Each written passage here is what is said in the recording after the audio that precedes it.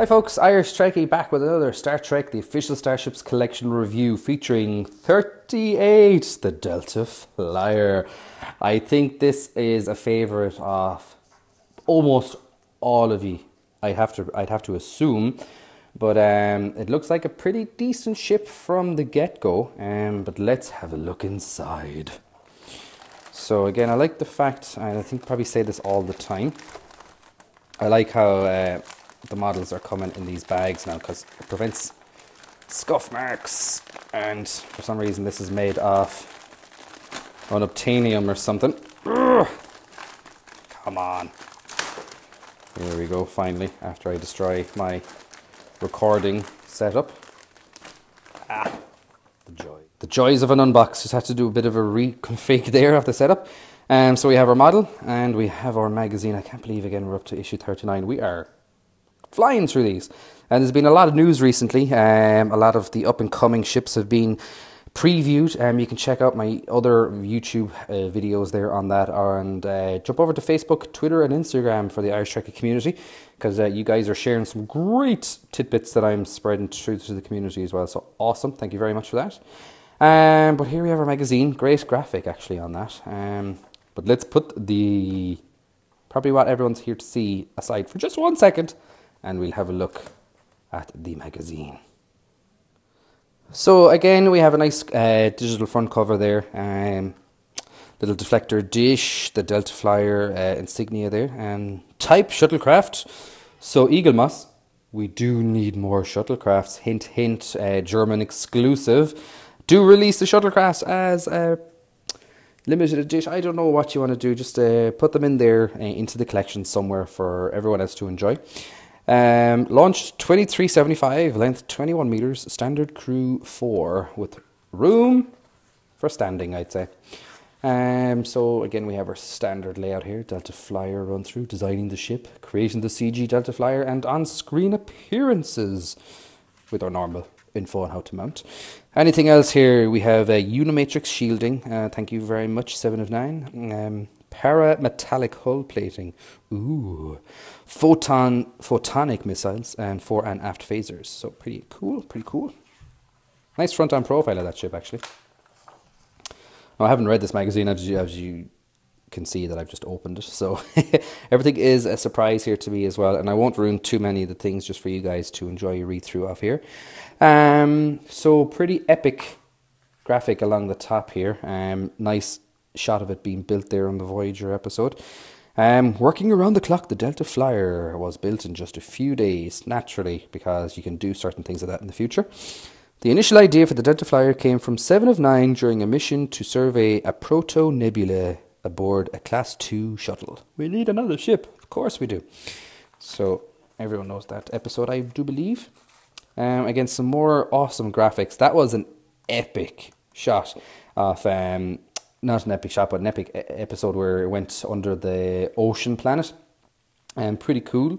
Um, with the addition, uh, the addition of immersion shielding, the Delta Flyer had necessary structural integrity to dive to a depth of nearly 600 kilometers to the Monean ocean floor.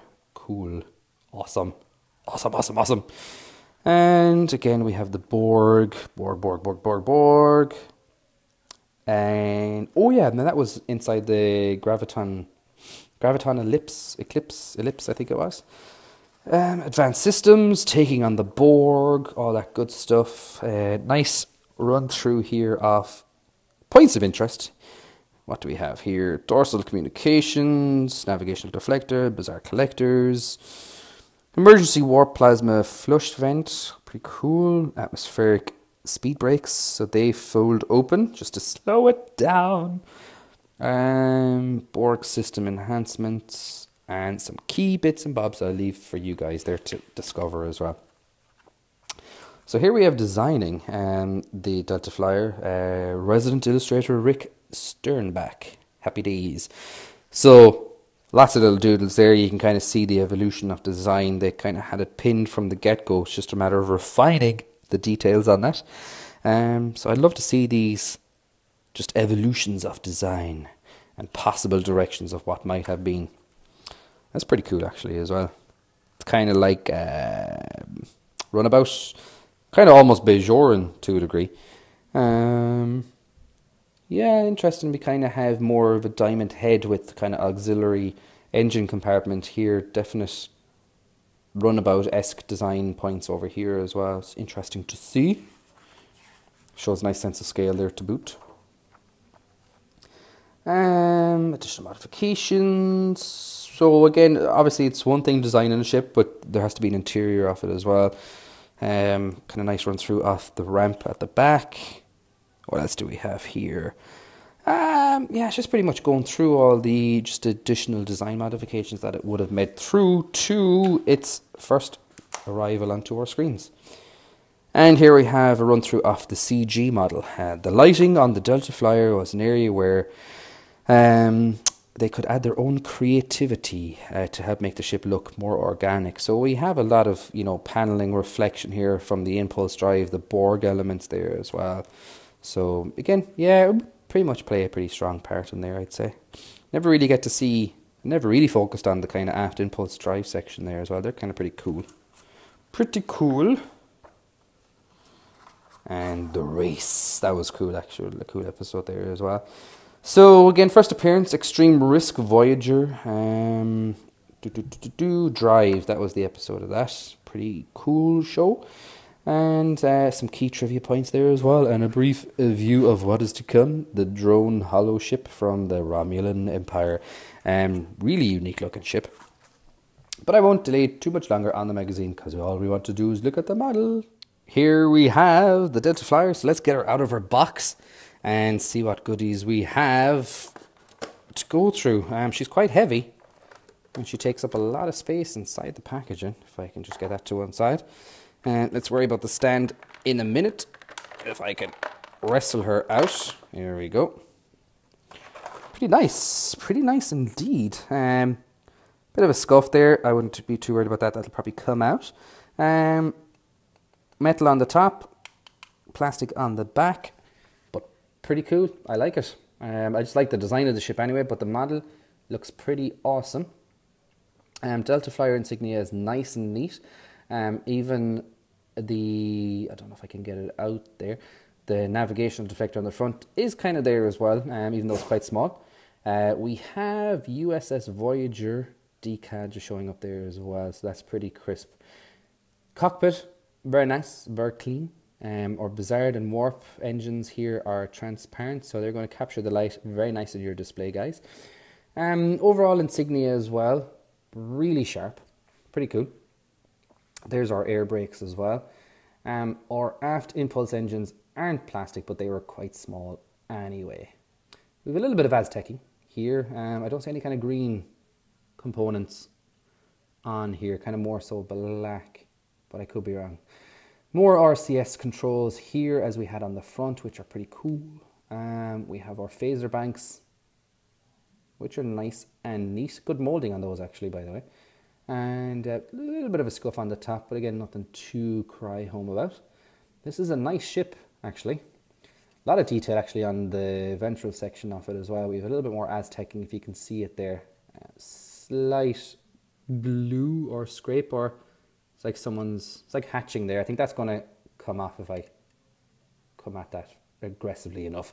Um, but nothing to worry about. Uh, there's our landing skids and our rear panel.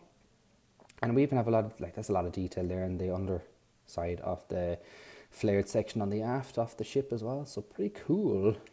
What do you think of this, guys? Are you happy with it? It's a nice size if you can kind of get a sample of. I, I don't have the biggest hands either, but it's a nice size um, of ship to be playing with there. So that's pretty cool. And again, the, the decaling on it on both sides is pretty much immaculate as well. Um, we have more phaser banks just on that section too. So yeah, I like that. I really like that. Pretty awesome. so let's see if we can kind of get right up super close, kind of fly by here. We've some moulding just on the kind of base of the cockpit there as well. I just can't get that navigational side in close enough for you to get a real appreciation of it. Decaling on the underneath as well, pretty awesome. I just like when they include these translucent pieces as well. It just kind of brings the unit to a little bit of life that you can kind of see it change through your different display angles as well. But that's nice, and I think the pinstriping along the body of it as well is nice and crisp there. Um, pretty uniform on both sides. I've never had a model of the Delta Flyer, and I'm very happy that I do now. That's awesome. I love it.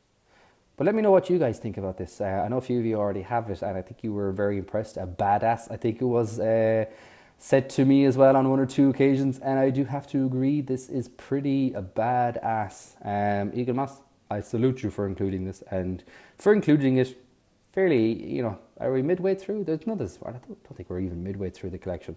But uh, guys, for everyone else abroad, you know, in um, Australia and America, this is an epic ship for you Federation fanboys and girls out there. Definitely pick this up. You will not be disappointed. So let's have a look at her on the mount and let's compare it to another ship on the line just to give you a sense of scale as well. So here we have her on the mount, uh, really secure in the back there. Um, it's not going anywhere and we do have a nice elevated view on that. So depending again where you have it displayed, you might see a lot of the ventral section of the ship if you have it a little bit higher. But um, again, the way I look at these kind of elevated mounts is it looks like they're in a almost action stance. Um, so I think that's pretty cool, and I'm really happy with the kind of overlay of that mount there. I was just afraid about that maybe going forward, tipping forward, but uh, once it's in, it's not going anywhere. So let's have a look at another ship just to give it a sense of scale, and um, we can go from there. So here we have the Delta Flyer and the Runabout side by side. Two relatively small scale ships in the collection, but again, two fan favourites, I would assume anyway. Um, you can definitely see a sense of scale between both of them, but the Delta Flyer is a big ship in comparison to its scale as well. And it's a shuttle. We should get more shuttles, hint, hint. Um, mounts, you can see it's quite high on the mount in comparison to the runabout, but that's cool. I like how there isn't kind of uniformity between them, just to kind of maybe set up a scene in your display and so on and so forth. Um, you can see those plastic components there, taking the light from the different light sources as well, so kind of giving you a sense of, you know, them being alive. Not that they're a machine, but they're just not a toy like it, which they are a toy, but just a little bit of detail just gives them a little bit of a kind of, you know, a je ne sais quoi um, as the French would say. Um, or do they even say that at all? Maybe it's just me. but enough of that rambling. Um, but you could definitely see the Federation styling, um, but again, the uniqueness of the Delta Flyer as well, and just that paint job just pops, even in comparison to the Runabout as well. But two pretty cool models from Eaglemoss, and I'm really, really excited with that Delta Flyer. It has definitely set, met, and possibly even exceeded my expectations of it. Um, tip of the hat to you, Eaglemoss. And uh, yeah, that pretty much concludes my review of issue 38, uh, the Delta Flyer. And um, thanks for watching. And do leave your thoughts and opinions in the comment section below what you think of the ship. What uh, ships are you looking forward to? Just any general chit chat. And don't forget to jump over to Facebook, Instagram, and Twitter to stay in touch with the Irish Trekkie community. And if you're not yet subscribed, why not? Hit the subscribe button there not to miss out on any up and coming videos. Uh, I've been Irish Trekkie, and I will see you in the next one. Take it easy. Bye bye.